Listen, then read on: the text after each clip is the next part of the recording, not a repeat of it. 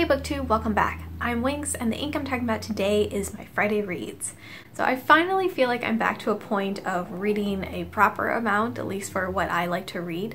Unfortunately, this shift occurred at the tail end of the month, so it doesn't help me a whole lot for my May TBR. But I did manage to finish two books this week that were on my list, so that makes me feel a little bit better.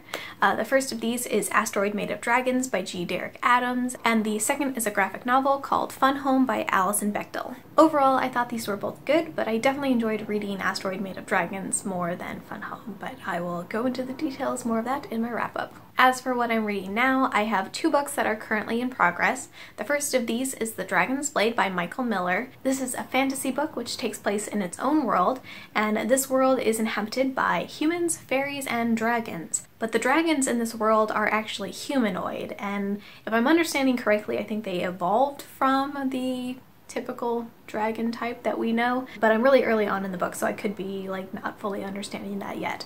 Um, however, in any case, they are humanoid and basically just larger than humans.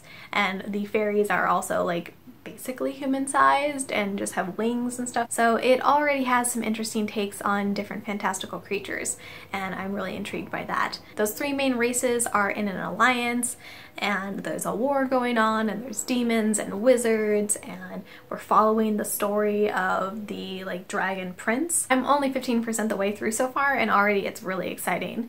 I actually started this book at the beginning of the month and I just wasn't quite in the right headspace for it and then all the aforementioned mentioned projects and such happened and I really made no progress with it over like two solid weeks. I can tell I'm back in the right mood for it now, so I've picked it back up over the last couple days and I'm excited to continue on with it over the weekend. The second book I'm currently reading is Jilo by J.D. Horn, which is the fourth book in the Witching Savannah series.